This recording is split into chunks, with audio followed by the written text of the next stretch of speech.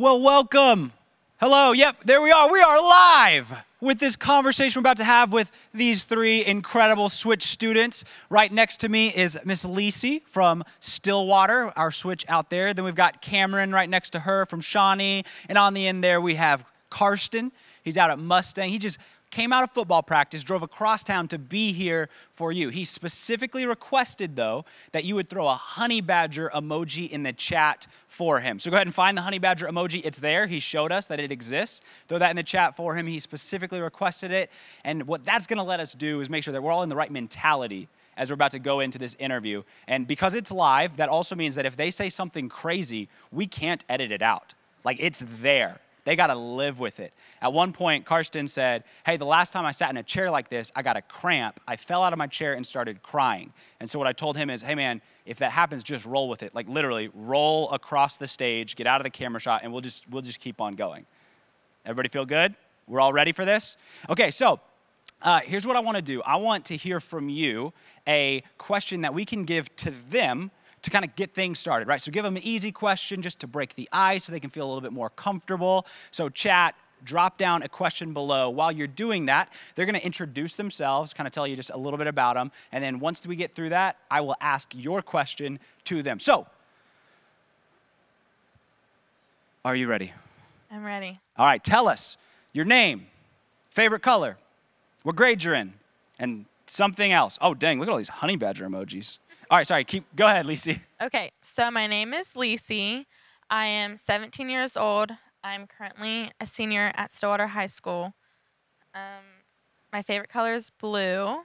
What was the last question? That's it. That's perfect. There we go. Hey, y'all better just show some appreciation for Lisi because apparently she didn't know that this was going to be live until like 30 minutes ago. and she about like freaked out when she found that out.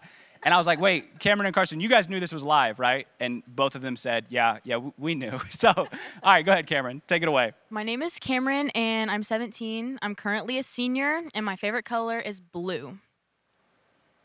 Wonderful. Karsten? My name is Karsten. Uh, I'm 17. I'm a junior, and my favorite color is yellow. All right, so we've gotten like so many good questions, but it's hard to actually read them because of all the honey badgers in the chat. So, Karsten, they did it. They came through for you. So, here's what we'll do. Uh, we got the, oh gosh, the chat is literally going so fast, I just lost it. All right, here's what we're gonna do. I'm gonna do this one that I just saw Star Wars or Star Trek? Star Wars. Why? I've never seen a Star Trek movie. That's embarrassing. I've never seen either. Okay. I'm with Lisi on that one. I've never seen either. All right, cool. Well, uh, see you next week. I'm out. I'm just kidding. Okay. I'm like a, a, super big nerd, so I love all things Star Wars. Uh, Star Trek is, is good, but not great. But here's what we're gonna do we're gonna actually get started now. Now that we're all comfortable, we've gotten a little bit of the giggles out. Because again, y'all, this is literally live. Like it's live right now. This is terrifying. If you're not scared, you probably should be, because all the people judging you. Karsten, how does that make you feel? I'm here. he said, I'm here. All right, so here's the deal. Uh, our theme for Switch this year is from God hope and power because what we know is that our faith is so much more than wishful thinking. We know that because of Jesus, because of what he's done, that we can have hope, that our future will be brighter and better than our past, and we have a part to play in making that future a reality. And so, what we're gonna do is we're gonna hear from Lisi, from Cameron, and from Karsten different ways that they are choosing to use the power they have from God for the good of others. How they're choosing to have hope and to bring hope to the people in their lives. So, question number one Tell us about the first time you realized that you had the power to make a difference? Cameron, you're looking at me intently. I think you're ready for this question. So, Cameron, tell us about the first time you realized you had the power to make a difference. Okay, so the first time I realized I had the power to make a difference was my eighth grade year.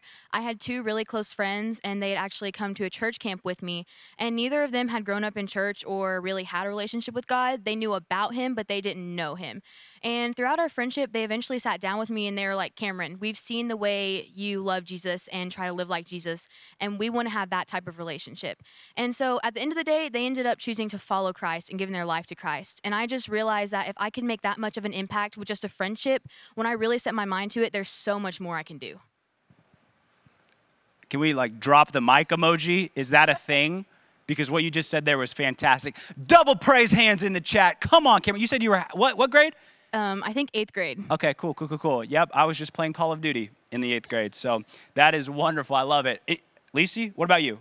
Tell us about the first time you realized you had the power to make a difference. So I think the first time I realized I had the power to make a difference was actually last year, the end of last year. Um, I had realized that the best place to make a difference was in my church. So I decided I wanted to make a difference by inviting, inviting, inviting. So I just began to invite people all the time to come serve along with me on the hospitality team.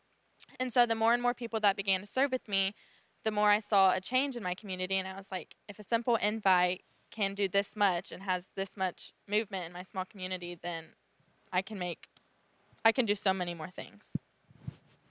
Come on, somebody. Let's go. How many people did you invite to serve with you? I think close to 10 within a couple months. So within a couple of months, you invited 10 different people to come and serve with you at church. Like, it's one thing to invite somebody to come to church and like attend a service. It's another thing entirely to invite somebody to start serving and using their gifts in the church. Like, that is a big deal. And you're, how old you said, 17? 17. Come on. All right, Karsten. We're going on to question number two for you. Are you ready? I'm ready. I'm here. All right, good man, good man. Make sure to keep that mic up here. All right, so uh, first week of Switch Online, here's what we did. We talked about the importance of being committed to seeking God and learning the truth when it comes to us uh, playing our part in bringing hope to others. Because we know that in order for us to do what's right, we have to know what's right. So here's my question for you What are some practices or habits that you've developed personally to help you learn the truth and stay rooted in God's word? So, what are some practices or habits that you've developed that help you learn the truth and stay rooted in God's word?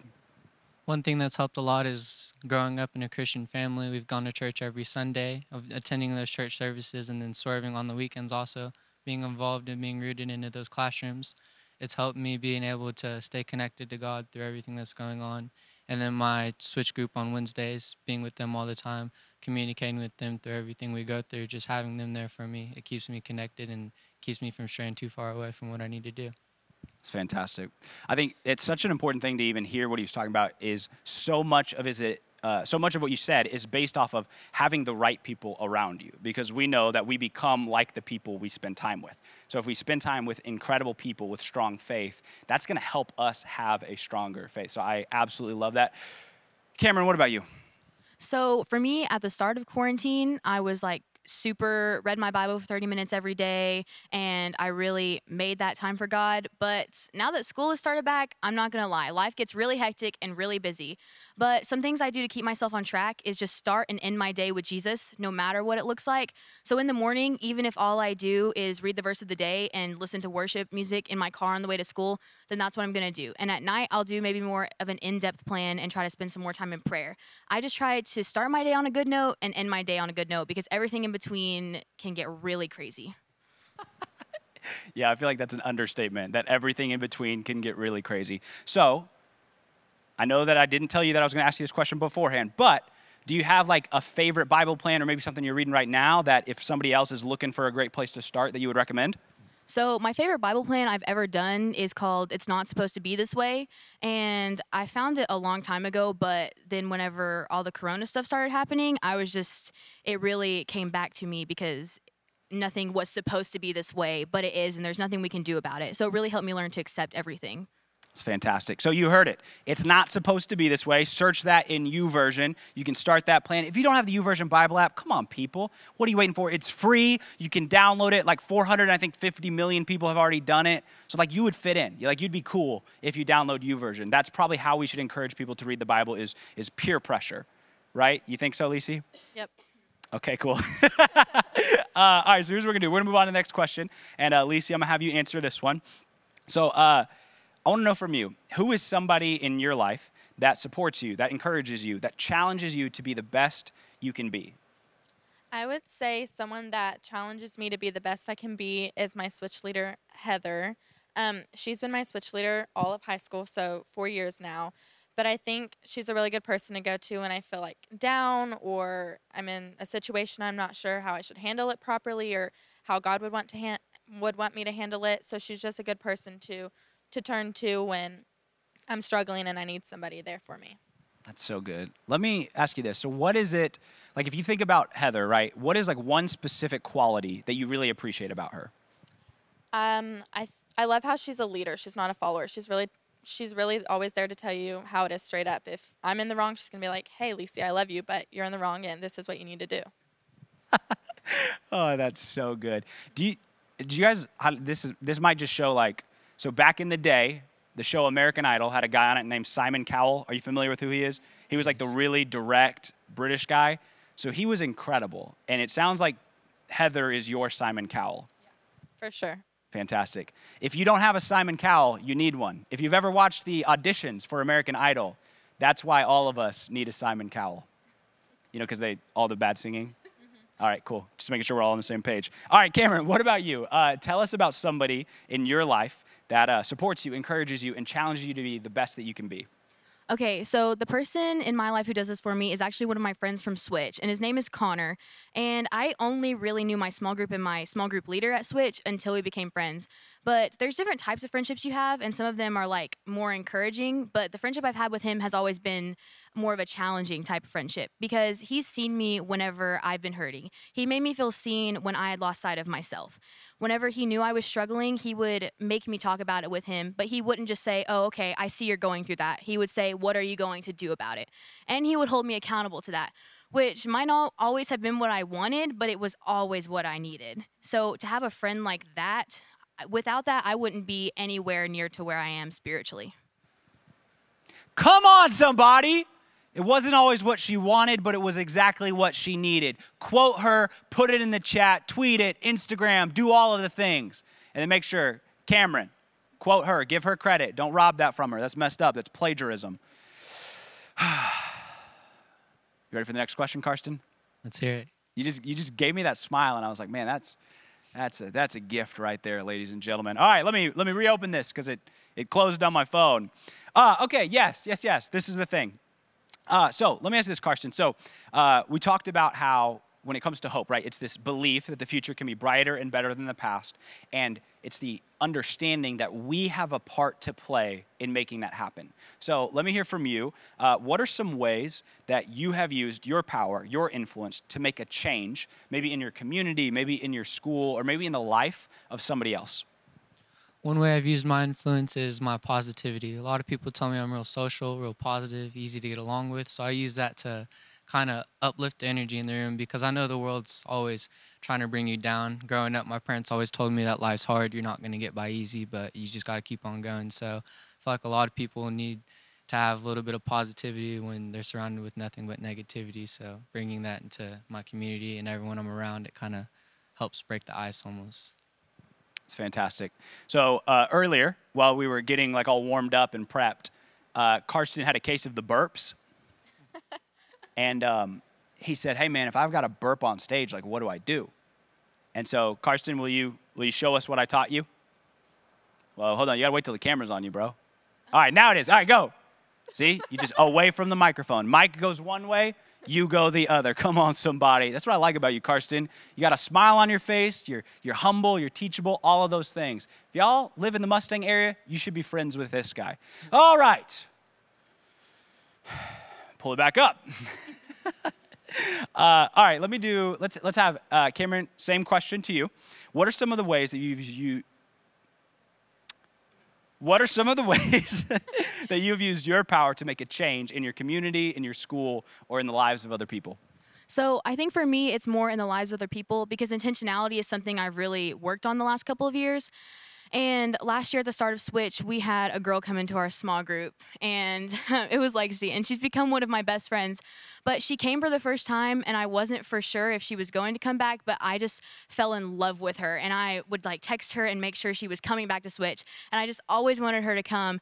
And I've been able to watch her grow so much spiritually in the last year. Like I've got, I've watched her go from someone who just came to church to go to church to grow into someone who loves going to church and wants to be there all the time. Like she's literally there all of the time. And it's helped us like our friendship has grown so much because we were growing together in Jesus. And I think I was just able to be what, for her, what Connor was for me. I feel like I've been able to challenge her spiritually and help her grow. Mm, that is so good. So good. All right. Last question. Lisi, are you ready? Yep, I'm ready. What words of encouragement would you share with the students listening right now? Like right on the other side of a computer screen, a phone, a whatever. What words of, because remember, this is live. Yeah, this is live. Okay, cool. Just, just making sure we're still there. so, what words of encouragement would you share with them uh, who, for them, maybe they're hesitant or nervous to step out and start using their power for good? What would you say to them? Um, I think today it's really easy to fall in the pattern of what everybody else around us is doing. But I think that it's important to remember that God made us different. He set us apart from others, and we are to be leaders, not followers. So when life is rough and we're not sure what to do, just remember that God has a plan and everything will be okay. Come on, somebody. Fire emojis in the chat. Double praise hands. Clap. Here's the deal these three students just came up and said, you know what, we're going to go out there, we're going to be real, we're going to be vulnerable, we're going to do it live, so if we mess up, you can laugh at us, all of those things. And I just want you to know how thankful that I am for your willingness to share, to be vulnerable, to be honest, to be real, to be fun, to be all of those things. Um, it's seriously a gift to us. And I think what you said about the encouragement for them, knowing that you are a leader, you don't have to just be a follower. God made you exactly how you are for a reason. And I'm thankful that the way that God made you, you have chosen to share with us, to be an example for us of what it really looks like practically as a teenager today to use the power you have for the good of others. So, without further ado, thank you so much, Lisi, Cameron, and Karsten. Put some claps in the chat, do all of the things. We're so excited for you.